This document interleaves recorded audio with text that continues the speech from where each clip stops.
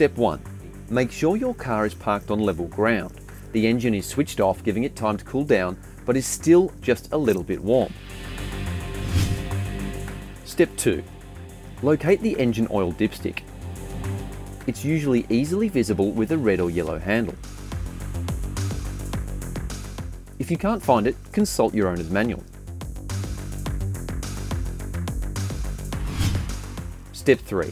Grab a clean, light coloured rag or piece of paper towel and pull the dipstick out of its housing carefully so you don't fling oil everywhere.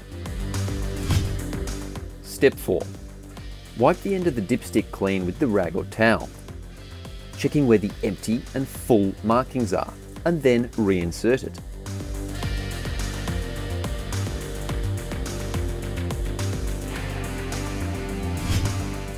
Step 5. Pull it back out again slowly and check the oil level and colour on the end of the stick. Step 6. If the oil is low, top it up with the correct oil and check the owner's manual if you're unsure.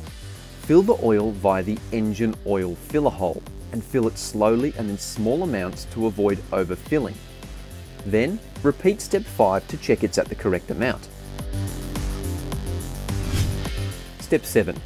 If the colour of the oil on the dipstick looks burnt or dirty, it could mean that it's time for an oil change. If you're unsure, speak to your mechanic or service centre.